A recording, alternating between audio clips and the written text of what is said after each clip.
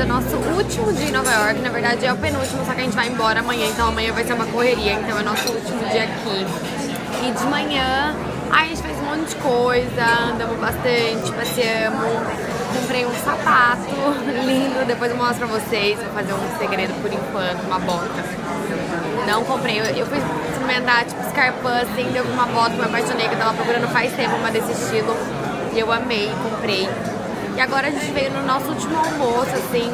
A gente veio no Gramercy Tavern de novo. Como eu falei, é um restaurante que a gente ama, que tem uma memória, é, tem uma coisa afetiva, assim. Porque é o restaurante preferido do meu pai. Sempre que eu tô em Nova York eu venho aqui com a minha família. Lembra muito família, assim, pra gente. Então a gente veio aqui pra comemorar o último dia nós pedimos um menu degustação de vegetais. Esse restaurante é famoso pelos vegetais. Assim, tem de tudo. Tem peixe, tem carne, tem massa. Mas os vegetais daqui são feitos de uma maneira maravilhosa, super diferente. Então a gente pediu um menu degustação vegetariano. Estamos animadas para provar tudo. E aí, mami, o que, que é esse primeiro prato? É uma saladinha de tomate. Tomate, pêssego pepino. Mas tem bastante gosto de pepino. Bom, refrescante. Não amou? Refrescante, mas eu amei. Não? Vamos ver o próximo. Olha que delícia. Aqui é uma burrata com vagem, ameixa, castanhas. Eu acho que é isso. E a mamãe aprovou esse aqui. Esse aqui você gostou, né, mami? Ela achou muito bom. Mamãe aprovou, tá, tá aprovado então. Eu já perdi as contas, mas acho que esse aqui é o terceiro prato. E é um agnolote, que é essa massinha aqui. E dentro é de milho, sweet corn, que eles chamam, que é um milho que é bem docinho. Então super diferente, né? E vai também blackberry, que é framboesa, não, amora. E algumas coisas, a queijo, mas algumas coisas que a gente não soube dizer o que é. Não, acho que é tru, acho que é cogumelos, alguns tipos de cogumelos. Mas ó, esse foi o preferido da mamãe, né, mãe? Mara, Mara. Maravilhoso. Preferido da mami até agora. Uma massinha não tem mãe. erro, né? Pode fazer um desse pra mãe.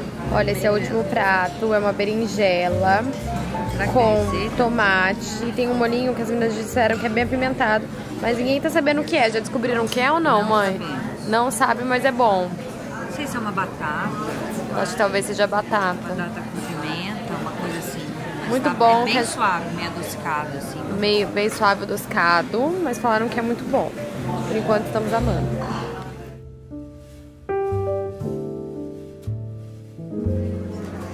E pra finalizar, aqui todas nós estávamos esperando ansiosamente um cheesecake com mel, morango e um sorbet de vinho tinto.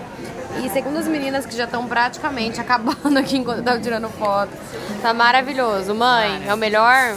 Comendo bem devagar pra não acabar. Ela tá comendo muito devagar pra não acabar, porque é pequeno, tudo bem pequeno. Ai, deu uma tristeza.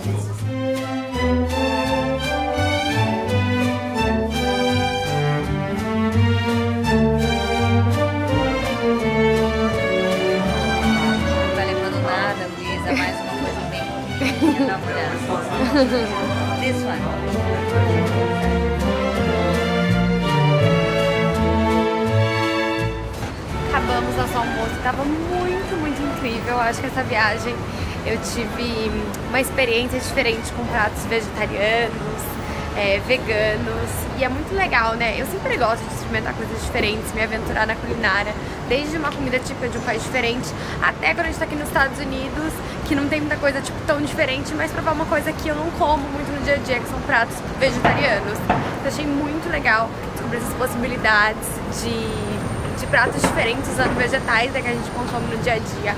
Foi tudo muito bom, no começo achei pouca comida, mas depois com a sobremesa tal, o cheesecake tava maravilhoso. E daí com a sobremesa é, eu fiquei super satisfeita, até achei que comi demais.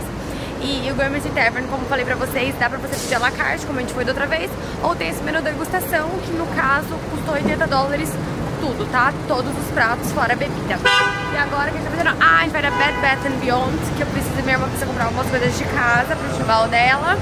E eu preciso comprar Babyliss e um espelho pra minha casa.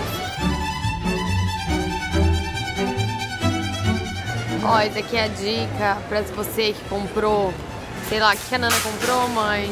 Edredom, coisa que ocupa muito espaço na mala. Isso daqui ele tira, ó como é que fica, tá vendo?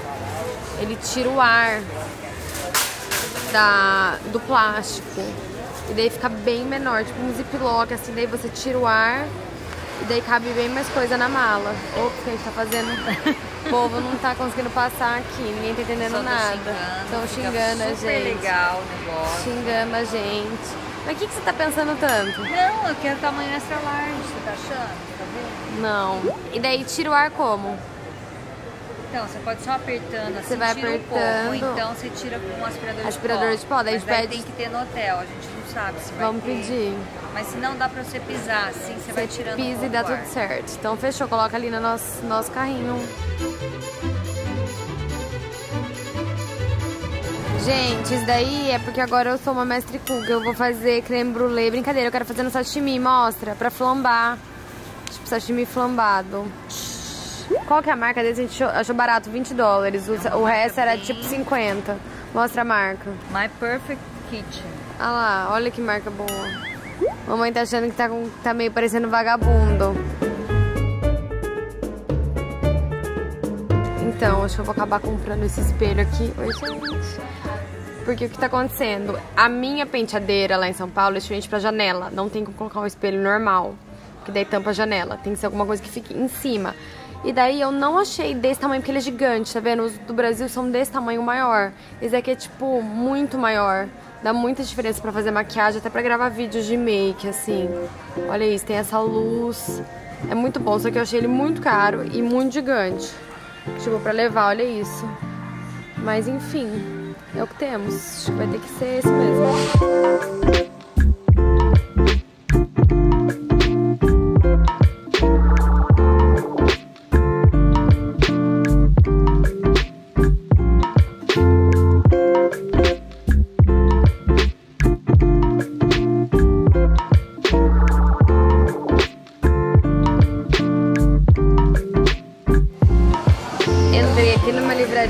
Da Amazon que eu achei muito legal e um dos melhores programas pra mim é esse, em qualquer cidade do mundo, em qualquer lugar do mundo, entrar numa livraria, pesquisar uns livros.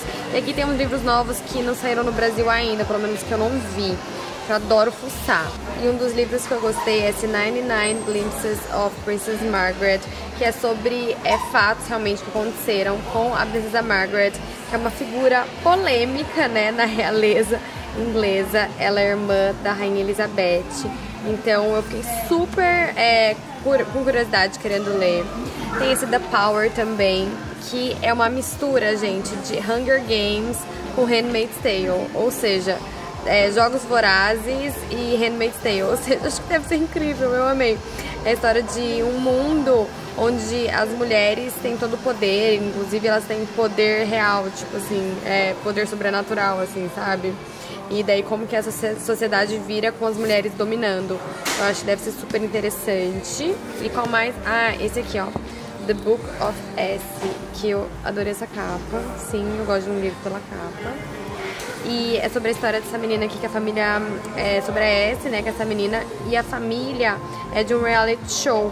E ela fica grávida, daí não sabe o que fazem, que a mãe, né? A mãe não sabe o que faz, nananã. Daí essa vida dela no, nessa vida de fama, intrigas, enfim. Parece bem legal também.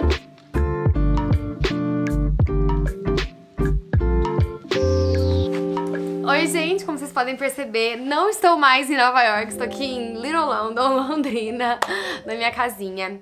E eu queria conversar um pouco é, com vocês, né? Fazer uns, uns, esclarecimentos, porque durante essa viagem eu fiz alguns vlogs, tudo, e eu sempre acompanho os comentários de vocês, eu gosto de saber o feedback. E muitas vezes, né, as pessoas tiveram um feedback um pouco negativo com esses vlogs. Falaram que eu só mostrava restaurante, que queriam ver mais coisas, é, enfim, críticas mais pesadas até. Ai, cadê a Luísa antigamente? Blá blá blá.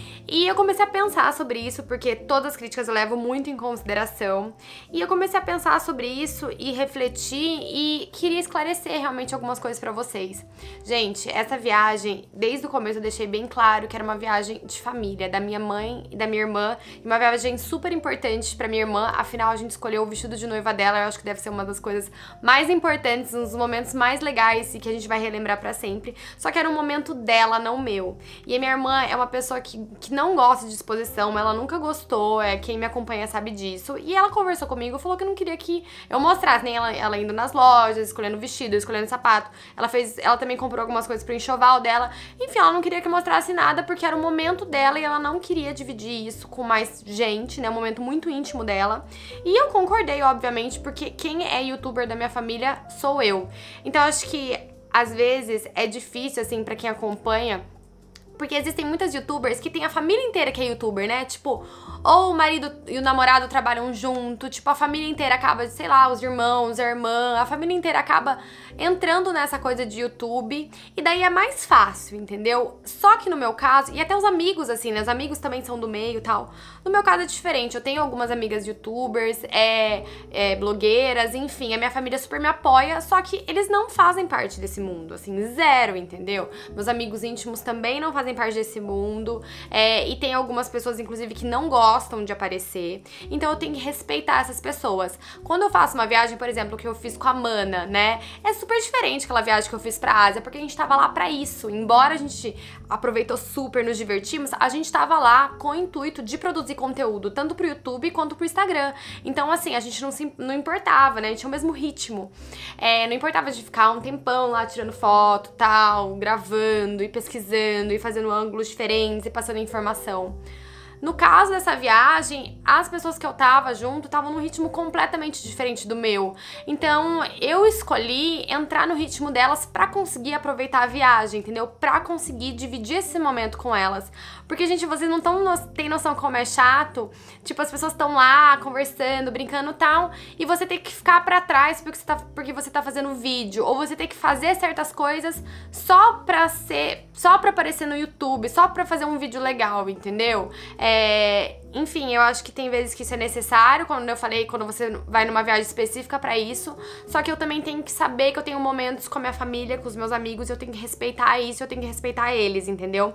Então foi por isso que muitas vezes nessa viagem, ah, tu não falou assim, só mostrava restaurante, só mostrava comida. Porque o momento que eu tinha para filmar era esse, era o momento que tava todo mundo mais relaxado, que a gente não tava na correria de um lugar pro outro, era o momento que eu podia filmar, né? Que muitas vezes a gente ia em loja que não podia filmar, ou que era coisa da minha irmã mãe ela não queria que filmasse, então realmente a comida, os restaurantes, as dicas de restaurantes era quando eu relaxava, todo mundo relaxava e eu conseguia filmar. Então eu quero que vocês entendam isso, vejam por esse lado um pouquinho também. E isso me fez pensar muito que eu vou eu vou pensar novamente é, a maneira de fazer vlogs quando for um vlog nesse sentido, que eu for viajar não para trabalho, que eu for viajar a lazer.